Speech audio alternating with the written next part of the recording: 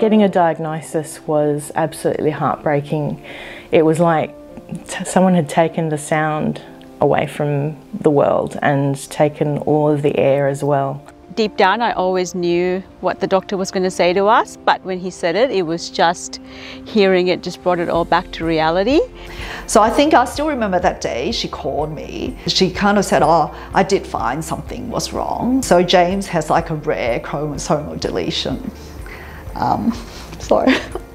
Yeah, it was just devastating. We, we found out that he has autism at 14 months, especially when they tell you there's just no hope and no cure for autism. That was difficult. When you're, when you're told your child has autism, you don't necessarily understand what that means, and it can take you a couple of years to really get your head around it. So when we were at the local school special needs class. Education wasn't tailored to James's needs. He had to be isolated in a space by himself. His expression then became pulling the teacher's hair, ripping everything off the wall in the classroom, um, stripping his clothes off.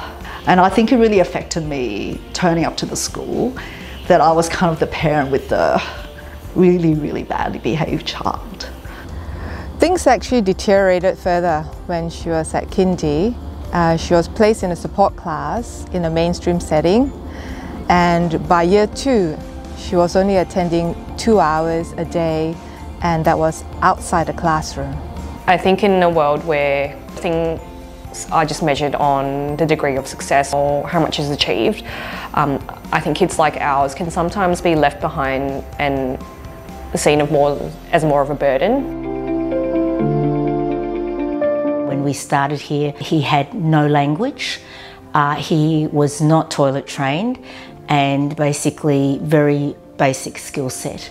He can now cook, he can prepare food, uh, he does a lot of household chores and all those steps are part of his independence. I've really seen Hardy progress with is his social skills and how he interacts within a smaller uh, cohort and Giant Steps has been able to initiate those types of classes. Giant Steps is crucial to Declan and my existence. When she came, her staff were amazing and provided her with immense support and eventually won her trust. The piece for me is that Giant Steps has really opened up a world that would have been just so limited um, and so restricted for him into a world that's got a lot of opportunities to engage and communicate.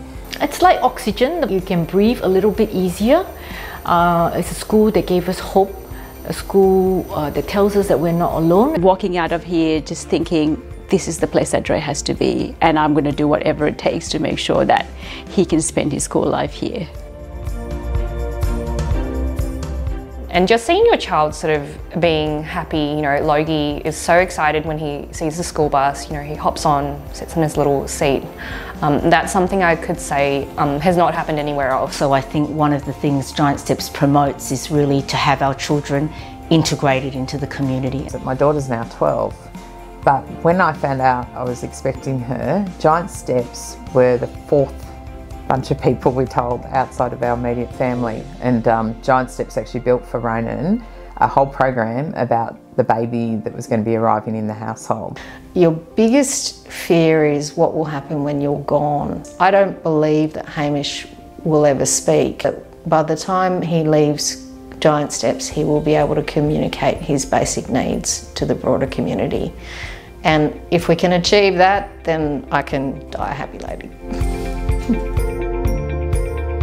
the increased rate of autism, it might just mean that one day it might affect um, someone you know. And I just feel that if there are really good supportive services like Giant Steps, it just makes having the diagnosis um, less challenging for any family. When you are giving support to Giant Step, you are in fact giving hope to every family who have challenges with a kid diagnosed with autism and their child hope for the future.